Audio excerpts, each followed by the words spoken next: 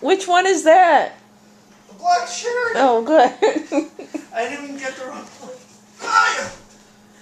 We better open it. Make sure it's not grip in there. Got a picture.